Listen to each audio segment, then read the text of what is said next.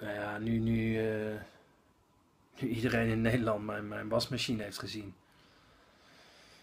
is er geen houden meer aan. Het is niet normaal.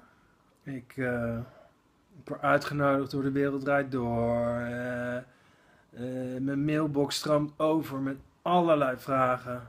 Maar iedereen weet, daar doe ik niet aan mee. Weet je, maar ik vind dat eh, wie A zegt, moet ook B zeggen. Dus eh, ik zal één vraag beantwoorden en ja, dat is eigenlijk wel de vraag die eh, de diepste essentie van mijn wasmachine raakt.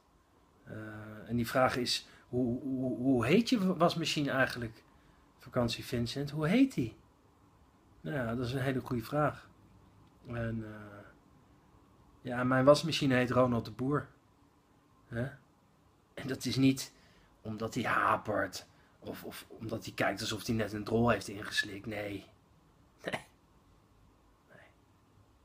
Dat is omdat mijn wasmachine ja, gewoon heel goed voetbalteams kan managen. En, en met druk om kan gaan.